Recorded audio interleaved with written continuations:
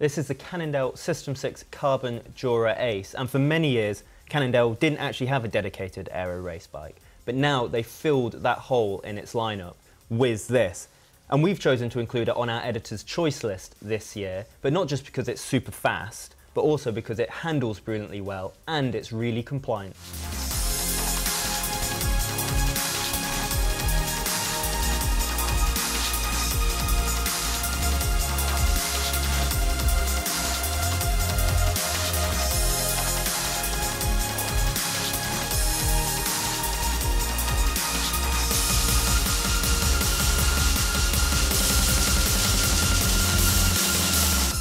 So 2018 has been a huge year for aero bikes and aero development. So what sets the Cannondale System 6 apart? That's a, that's a good question. Um, I mean, for starters, this is Cannondale's first dedicated aero race bike, which Yeah. is really exciting in its own right. Um, but there's also the fact that they had a very succinct way of stating how aero this is. And they used their own uh, Super 6, which we love, and it is in our editor's choice list this year, to help compare the two bikes. Um, and basically, they said that a rider could ride the System 6 and they could ride the Super 6. And up to a 6% gradient, the bikes would be completely comparable. Right. Neither would have an advantage, which is quite strange because you think there's a big weight difference between Yeah. the two. But actually, up until that gradient, this the aerodynamics of the System 6 will keep it level with the Super 6. Um, and 6% is like not a me like that's a It's tough. that's a tough Yeah. gradient. And I think Cannondale said that, you know, um, they used Alpe d'Huez to help form this bike because there are large portions of that uh, that climb which fall into that category where they could compare the two bikes, um, which is super interesting. Obviously, seen as the tour goes up Alpe d'Huez very often. And there's also the fact that the lighter the rider, the um, and the better their power to weight, the steeper that gradient can go. So if you're Rigoberto Uran and this is the bike that you are riding on your pro team, then that's going to be pretty significant because his power to weight is obviously really high. Therefore, it can go steeper and still match the Super Six, Great. which is just one way that they are saying that this bike can climb. But also, they use a really good example of descending. Um, and I really like this example because I'm quite lazy. so they said that uh, descending on the System 6 is the difference between having to put effort in on the descent and catching a rest, which is quite an interesting way of terming it Yeah. because uh, obviously a lot of people do attack down des- descents, but me especially, I quite like to catch a breather down a descent. right, yeah. okay, I'm, not meant- I'm not attacking Oh, down okay. I thought you were going to go for it, right? Okay. No, so you can actually, uh, basically, riding the System 6, they said could be the difference between like having to storm down a descent and actually giving yourself a bit of a breath. So you could breath. be attacking whilst catching your breath Yeah, on the system. on the System 6. That is a big claim. Yeah, big claim. And on the sprints as well, which is obviously the natural uh, area of the aero bike, um, this bike would finish a 200 meter sprint four bike lengths ahead of the Super 6. Wow, that's quite significant. which is significant, and that's very significant for the Cannondale pro riders because up until now they've only been able to race on the Super Six. Yeah. So if this means that we suddenly start seeing them using or bringing in some like sprinters onto their team, would be really interesting to see how this does in a bunch sprint. So the great thing with Cannondale in particular, they're super lucky in a sense to have the Super Six um, as their test bike, their, their starting bike. So you know that is quite typically your traditional road Yeah, bike, isn't it? totally. It's round tubed, horizontal top tube as well. You know everything that an aero bike isn't now, because you just look at this bike, and it is getting towards the realms of you know futuristic Totally. type stuff, especially with the technology pushing aerodynamics forward. So what else has this bike got that does, you know, bring those claims to life of aerodynamics? Well, that's uh, really interesting because it does actually have, as you can tell, it looks a lot like an aero bike.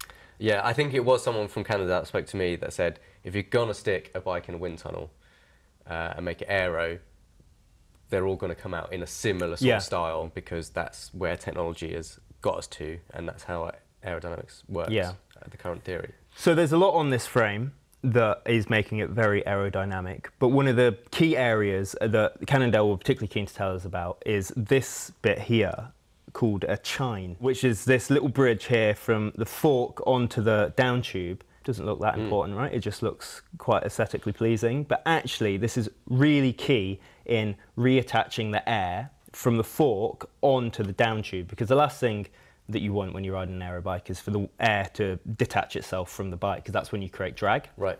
Um, so you want it to reattach as quickly as possible onto the frame. And that's what this little bit here does. Now obviously there's one on the other side as well, so the air is neatly reattached to the frame, which is then, this is this kind of like squared shape, Mhm. the top tube, which again helps the wind stay attached to it. And then at the back you've got the kind of typical aero traits of a bike. You've got the drop seat stays and you've got the real harsh angular seat tube. Um, again, all making it fast through the air. So there's been quite a lot of talk about pros, but this isn't actually the top of the range model, is it? So for the everyday man, what do these numbers mean? So I think it's, it's quite easy to get bamboozled a little bit by aero numbers. Mm. I certainly do. Um, but it's the savings for the everyday rider uh, are not inconsiderable on the System 6. Effectively, if you're riding at 30 miles an hour, you are the System 6 sorry will save you 10% of your effort really. And I think a 10% reduction in effort is something that we'd all seek for when we're riding our bikes At any given moment. yeah, at any given moment. much. Exactly. And if you're drafting on this bike, so if you're riding in a group and you're riding at uh, 30 miles an hour, um, it's saving you 30 watts effectively. Okay. So on those big rides, when you're out with a lot of mates, this is actually doing you a lot of favours All round. all round. Yeah. Yeah, it's a good all-round aero bike. So the latest thing in aerodynamics and aero bikes is people talking about the complete system.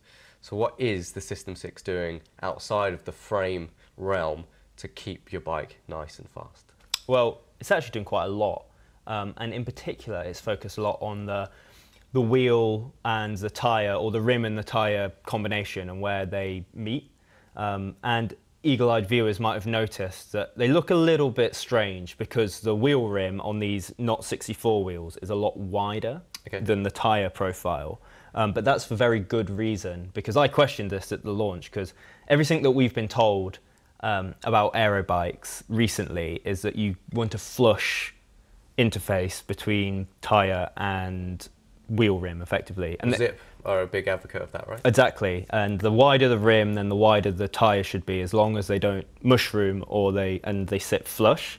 Um, and in fact, this is kind of the reverse because it's not the tire that's mushrooming out over the rim; it's the rim that is then coming in, and the tire is smaller than that. But that's for really good reason. And Cannondale said that actually, especially on the front, which is obviously the leading edge, uh, the wind hits the tire, and then because uh, the rim is wider than the tyre, the air reattaches really quickly to the rim. Whereas if they were flush, the air wouldn't reattach itself so well, and that's when you create drag. Okay. Um, and this leads in nicely to what we mentioned about the chine on the frame is that so the, the wind hits the, uh, the tyre, it reattaches itself to the rim, and then that reattaches itself to the front of the frame. And it kind of works in like a nice system like that to keep Yeah. it stuck to the bike Okay. um, which is all things that make it aerodynamically quick. Yes, you have to get a little bit used to the fact that the rim is wider than the tyre because when you're looking down over the bars, it does look a little bit weird because you automatically feel, even though you're never leaning into corners this much, you feel like you probably like your rim is going to make contact first with the road than the tyre would. But in reality, no one's getting that low when they go around corners, and Yeah. the contact patch of the tyre is big enough to cover it off. If you're getting that low, Oh, like you're you're getting your knee down. which- Formula One driver your Moto GP, basically, which I'm definitely not.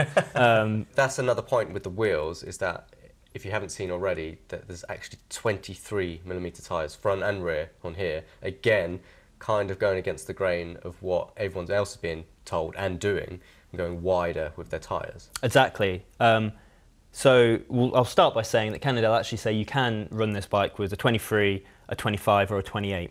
Um, but before you go throwing your 25 mil tyres in, it's worth mentioning that the Knot 64 wheels that the bike uses actually has a 21 millimeter internal rim width. Which is wide. which is super wide. Yeah. That's on a level with Zipp, um, and so some of the widest on the market really. So these 23s are actually measure up to be a 26 mil tire. Wow, okay. So it might look weird that the rim's there, but they're not skinny. in by any means. They're blown out pretty wide. Yeah. So if you threw a 28, uh, sorry, a 25 on there, you could be looking at like riding a 28 or a 29 Right. mil diameter on the tire. So it's worth bearing that in mind before you swap the tires out. Yeah. Um, but actually, sticking on the Knot 64 rims, if I had to pick my standout feature of this bike, it would be these wheels. Right. Definitely. These wheels are brand new from Cannondale. They're the, they were launched with this bike. And as you might guess, they're 64 millimeters deep. Um, so that puts them on a par with uh, Roval. So Roval have a pair of 64s. And these wheels, Cannondale say, are faster than those Roval wheels. Wow. But you know, it's kind of not really about the speed. It's also about the ride quality of them, and they're just super stiff and uh, they're great to ride on, and you can feel them just kind of pushing the bike along. Um, and I've just been super impressed by them. And so Cannondale are the makers of these wheels as well, yes, they are. So this is all coming out of Cannondale's own home, effectively. It, they're designed in junction with the System Six, um, and they're really, really good. So, a big question that I need to ask, and being a lover of the Cannondale Super 6 and its handling credentials, how much of that is transferred over to the System 6? Oh, so much. You can totally tell that these bikes share a DNA. Um, so before I get into ride feel, it's worth mentioning that the actual the geometry numbers that you would care about on for handling of a bike between the Super Six and the System Six, the System Six is only ever out by like a couple of mil. Okay. Um, so they're pretty much on the dot comparable, which is obviously going to replicate that amazing ride feel when you're descending. Yeah. Um, and for an aero bike, that's it was it's really interesting because for a long time aero bikes were kind of given a bit of space that people would be like, oh, it doesn't handle so well, but at least it's really aerodynamic. Yeah.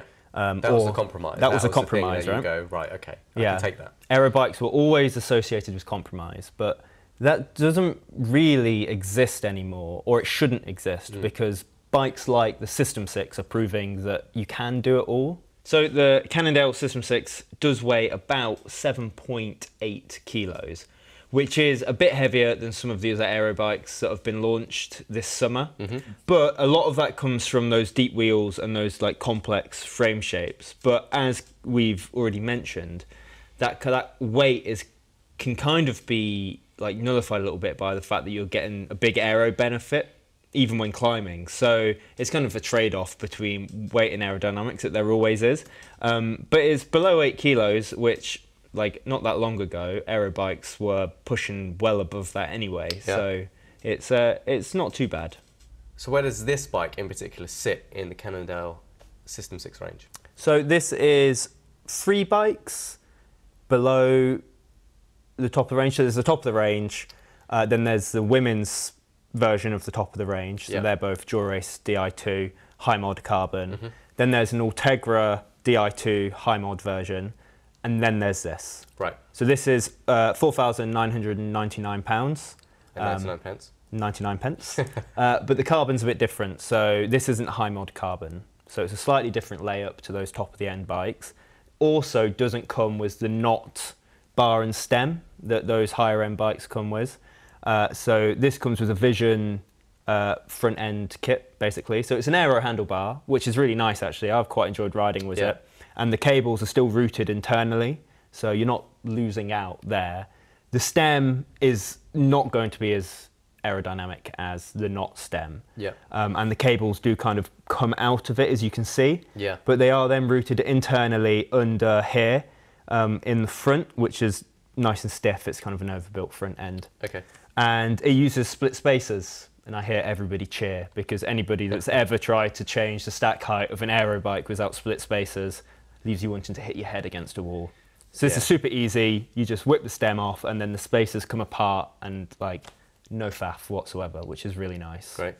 Yeah. And what else are you not getting on here that you would get for more money if you go higher up? So there is quite a significant uh, omission, which is a power meter. So the high mod versions of this bike come with a Power2Max power meter built into the crank. So that's kind of following that trend that we're seeing nowadays of getting a power meter as standard on a high end bike, Yeah. which is nice. But Cannondale do it slightly differently, where you have to pay extra to get it activated. So basically, they've gone, we want to give you the option of having power, but we don't want it to like be out of reach. It's not going to cost you more money. You can pay that at a later date to activate the power meter.